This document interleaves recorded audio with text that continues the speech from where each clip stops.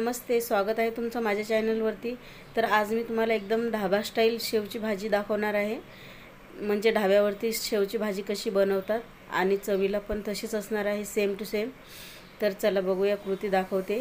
हे बघा मी गॅसवर कढई ठेवलेली आहे. त्याच्यामध्ये दीड कांदा टाकलेला आहे. म्हणजे हे पावशर शेवाच्या भाजीची रेसिपी आहे. तर हा कांदा मस्त लाल भाजून घ्यायचा आहे. याच्यामध्ये खोबरं पण टाकायचं आहे. आणि खोबरं आणि कांदा असं दोन्ही पण भाजून घ्यायचं आहे.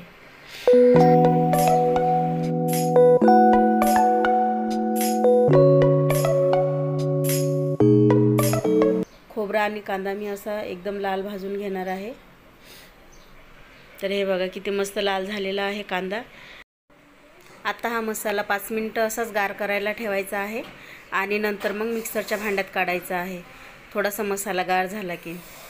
तर थोडासाच गार झालेला आहे मसाला. मी मिक्सरच्या भांड्यात काढून घेते आणि परत लसूण वगैरे सोलेसपर्यंत मसाला अजून गार होऊन जाईल. तर हे बघा पूर्ण मसाला मी भांड्यात काढून घेतलेला आहे. आता ह्याच्यामध्ये मी दोन गाठी लसणाच्या घेतलेल्या आहेत. लसूण थोडासा जास्त असला की भाजीला खूप छान चव येते. आणि एक तुकडा आलं घेतलेला आहे. आणि थोडासा कोथिंबीर घेतलेला आहे. तर आता हे सर्व मी बारीक करून घेणार आहे.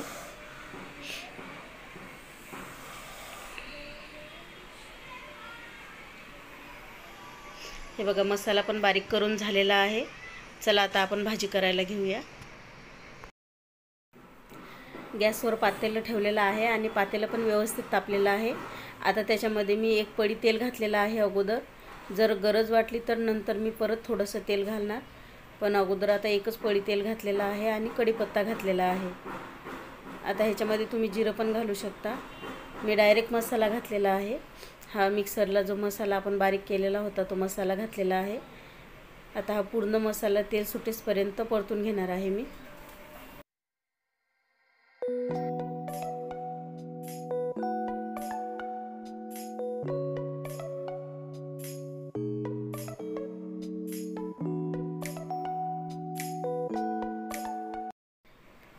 मसाला व्यवस्थित परतून झालेला आहे. आता याच्यामध्ये आपण मसाले घालूया. हे बघा एक चमचा मिरची पावडर आहे अर्धा चमचा धनिया पावडर आहे आणि अर्धा चमचा हळद आहे. तर आता हे पण मसाले तेल सुटेसपर्यंत तेल मसाल्यामध्ये परतून घ्यायचे आहेत. सारखं सारखं असं फिरवत राहिलं की ॲटोमॅटिक त्याला तेल सुटतं आणि तर्री पण व्यवस्थित येते. फक्त आपण व्यवस्थित परतवत राहायचं आहे.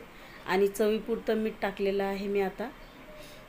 आता हे व्यवस्थित मी तेल सुटेसपर्यंत परतून घेणार आहे. बघा किती मस्त मसाला होऊ दिलेला आहे. आता हळूहळू त्याला तेल पण सुटत चाललेलं आहे म्हणजे त्याला तरी पण व्यवस्थित येईल.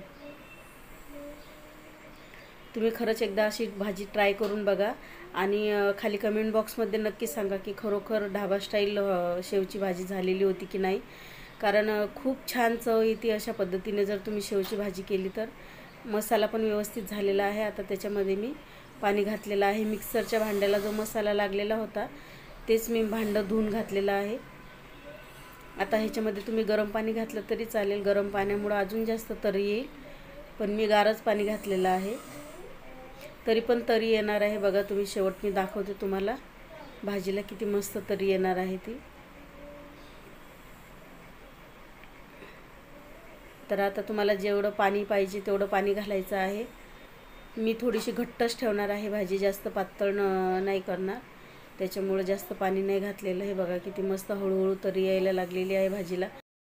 फक्त एक पडी तेलामध्येच मी ही भाजी केलेली आहे.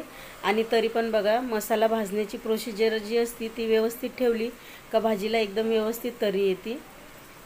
तर आता पा उकडी आलेली आहे याला. आता मी याच्यामध्ये जेवढे पण आहेत शेव तेवढे मी पूर्ण घालणार आहे आणि परत त्याला एक दोन उकडी काढणार आहे. पूर्ण शेव शिजून घ्यायचे आहेत. व्यवस्थित शेव शिजून घ्यायची भाजीमध्ये. थोडी घट्ट होऊ द्यायची. कारण की बाहेर जी भाजी मिळते शेवची ती थोडीशी घट्ट असती पातळ नसती. आता हे शिजल्यानंतर अजून घट्ट होईल. आता पण ती घट्टच आहे पण तरी एक दोन उकडी काढल्यानंतर अजून जास्त घट्ट होईल. तर तुम्हाला माझी ही रेसिपी कशी वाटली ते खाली कमेंट बॉक्समध्ये नक्की सांगा. आणि तुम्ही जर माझ्या चॅनलवरती नवीन आला असाल तर चॅनलला सबस्क्राईब करा आणि व्हिडिओला लाईक करा. बेल आयकॉनचं शेजारी बटन असतं ते बटन दाबायला विसरू नका कारण माझे असेच नवीन नवीन व्हिडिओ तुम्हाला मग बघायला मिळतील. तर हे बघा किती मस्त एक दोन उकडी काढलेली आहे आता याच्यावर झाकण ठेवते आणि डायरेक्ट गॅस बंद करते. म्हणजे जी वाफ आहे त्या वाफेमध्ये शेव शिजून जातील. आणि हे बघा मी गॅस बंद केलेला आहे झाकण ठेवलं आणि गॅस बंद केला. तर आता ही अशी एवढी पातळ दिसते ना आता आता थोड्या वेळाने अजून जास्त घट्ट होईल. तर खूप छान छान चवीला भाजी झालेली आहे. तुम्ही एकदा खरंच नक्की ट्राय करून बघा.